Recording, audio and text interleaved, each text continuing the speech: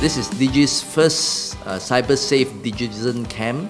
Uh, what we hope to achieve from this camp is to do capacity building for a group of young ambassadors uh, to help them to be able to understand the different risks of the internet.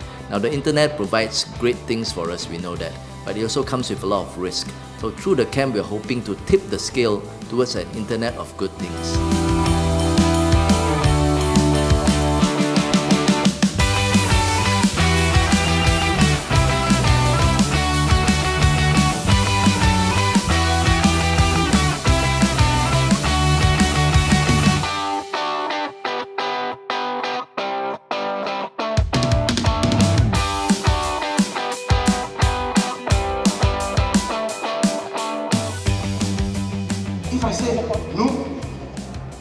Ugly, it's something like this. You are very useless student. Uh. I don't want to teach you. Every day we say the very bad thing. Will be something like this. Hurting that person inside.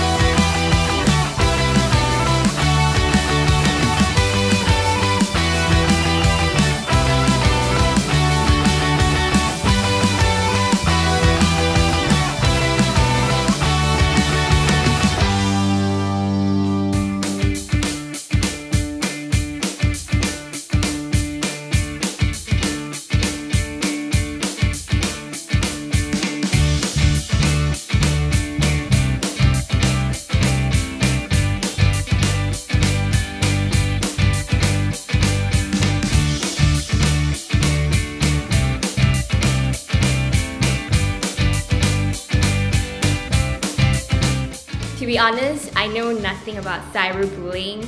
I was a bit, uh, how do you say, curious on you know what what to expect from this camp. It really pushed me out of my comfort zone because I don't really like go, going to this camp stuff, but I learned a lot of things actually and made a lot of friends. I found out from my friends about this camp and they were like, okay, go go for it, go for it. So okay, join. This camp has really opened my eyes about you know the dangers and the horror really of uh, cyberbullying and cyber grooming.